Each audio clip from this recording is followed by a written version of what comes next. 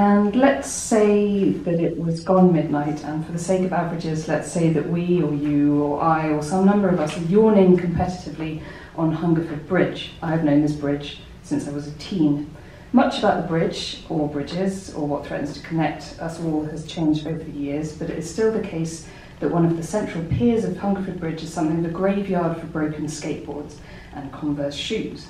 Votive offerings, gull shat and bleached under, bless you, under whatever capital city weather decides as a sun. But this is wrong already, all wrong. We are not on Hungerford Bridge. We are all wrong, and let's say that we are instead yawning not on anything across a gooseflesh expanse of mercantile mudlark leavened mud, but instead on a cliff top. Let's say a cliff top as might be on a postcard, and there might be bluebirds totally over us, totally. The sky is blue because of them, the bluebirds, their sheer preening number. And I read that eastern bluebirds sing in a fairly low pitched, warbling song made up of several phrases, each consisting of one to three short notes. Harsher chattering notes may be interspersed with whistles. The whole song lasts about two minutes. Who times the birds? I ask myself. I am glad of their metrics. Let's say that we are on this cliff and there is this big fire safety stage curtain of a Union Jack behind us, and the blue is birds. We'll get to the white, and we can only imagine the red, and we are, as I say, yawning competitively by agreement.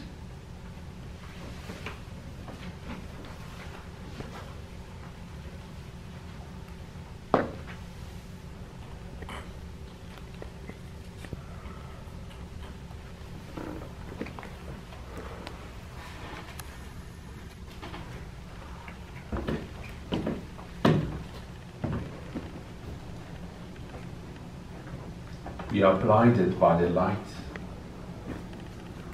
The north wind wafts over the fields, not a cloud in the sky. The blue has a chewing gum breath. Something is blowing that refreshes everything. The dust is gone, old habits, or real time for a sacrifice. Who still dares to burn potato leaves in the field? Not the leaves in the field, but your hands. Someone casts a line.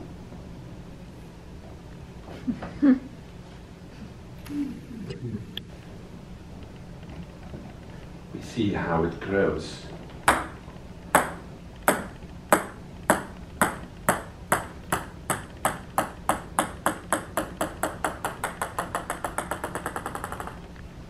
The wind tugs at the duckweed on the water.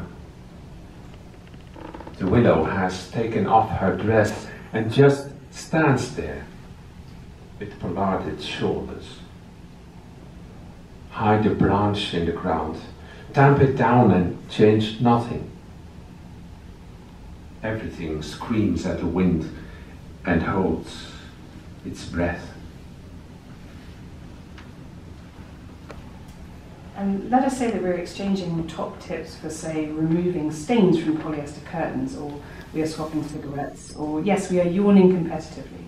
Let's say all three with emphasis on the latter. That was a good one, my companion might say, leaning on their shovel, and they might run their thumb against the grain of the shovel's wooden handle. This might be done unconsciously and without meaning anything by it, and I might assume my companion was talking about my yawn. A good one, they might repeat. I'd love that. And they might have time to raise their voice above my conditional clauses and the noise of all these blue birds over these white cliffs, interspersed by whistling. Thylacinic, they might say. Thigh, I might query, not catching any drift. Dialogue is difficult the cliff top breeze, the birds, the safety curtain and klaxons, we understand. They might continue. Thylacinical, if you prefer. We are, if you will remember, we should remember during all of this, we are on a cliff. But if we are on Hungerford Bridge today, this very day, you might see the sleek, steep cormorant of the Shell building has a pride flag flying atop it it is the season. The bluebirds whistle and the dogs whistle, and you can be sure of Shell is one hell of an ad campaign. Not so much as slogans of threat. Ugh, the G in the word campaign hiding in plain sight. Do you ever think how hard your hard parts might be one day, conditional clause, and they might be useful, say, your jawbone or your bones. They might be useful in the production of fossil fuels. My jawbone, for example, a mouth part, a bird's beak yawning or singing silently, but wow, that's great. Flags really are something else, something else entirely. And I cannot comment on the amount of bluebirds that might be over the Shell Centre today if you try and look up Shell PLC on Amnesty International's official website using Southbank Centre's free Wi-Fi, that's Southbank, one word. You cannot immediately access the site. Access blocked, it says. You have tried to access a web page which is in violation of your internet usage policy. The category is advocacy organisations. And then I am then offered the choice. Do I proceed? Do I go back? the pilgrim on crossroads looking for shells, and on the internet or on the lintel, many mollusks have only one powerful, muscular foot, metric or imperial. Where was I? The cliff top. Better if this light in the field chapel blooded by candles. The choir does not give itself away, falling in taking one's place, moving to the right, knowing one's place and keeping time, appearing on time and vanishing in the twilight, becoming one body, one body, one voice that climbs and climbs air bubbles that well up out of pure water, washing his hands in it then showing them to each other. Open, without fear. Feeling no shame when we didn't know the fine detail of what goes on outside. Generally, forget what is better forgotten. We celebrate our cohesion. Let's sing it out. Oh, sing it out. Let's say that this, it's now gone midday and my conditional clauses are a little spoiled beneath the sun, and we stand as we had stood for years or, or hours, and all is chalky mouthfuls and sea salt or Theseus grit, years of the cliff dust frosting our hair, our hairs cementing half moons under our fingernail, my cartilage is no good as an energy resource, unforgiving, crepitus in the knees. There'll be bluebirds, there'll be bluebirds, an inability to whistle. I read among the strange things associated with homosexuality and or sexual inversion in the late 1800s. Medical literature, inverted commas, uh, means that the inability to whistle, uh, that's a sign. You can render all manner of hard parts down without thinking even once about two-second songs. And the thylacine, the Tasmanian tiger, you all know it, now extinct, it can open its jaws in excess of 120 degrees, and that's an obtuse angle for an obtuse fact. And let's say that on the dot of midday, the sky might be bird blue clear, but far from quiet. I am whistling and humming at the same time, competitively.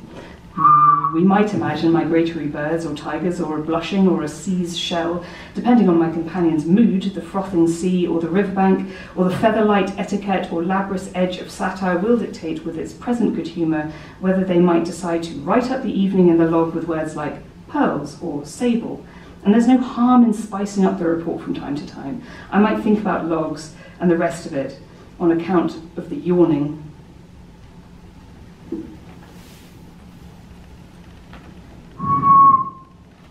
Mm. we keep silence and chant. Don't we come from somewhere after all?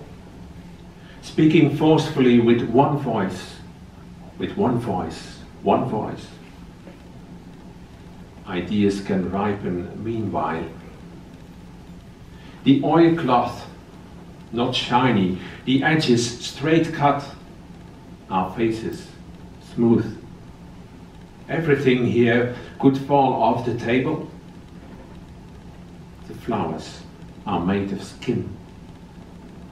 They swell. They soak up everything before they wither. Full of splendor, they wilt. We should dare to call the exotic species among them by their names.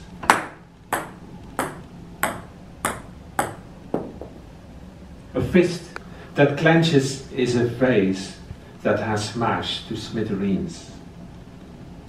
everywhere, the flowers of the bouquet that is recomposed melts to one color and becomes a fist of flesh in the darkness.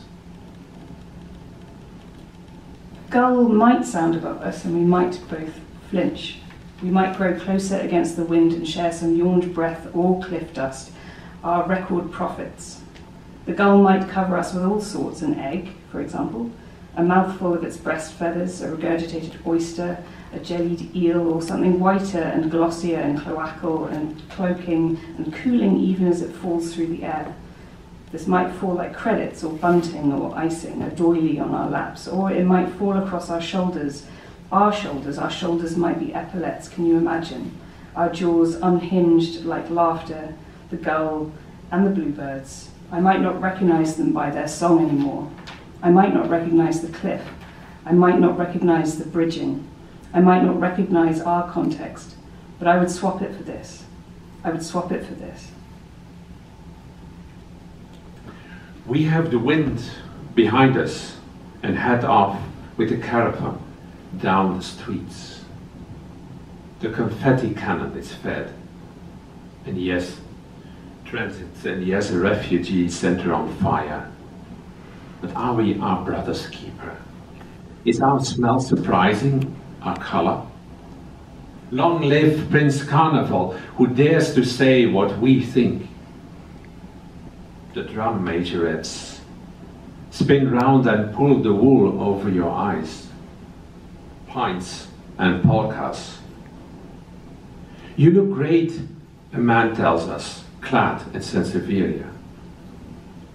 When does the pain peel? We don't need to take off our masks. Believe us, we deal transparently. Nobody is our enemy. But nobody realizes that. We know nothing and not even that. We touch our left cheek with the fingers of our right hand and say hello. Hello.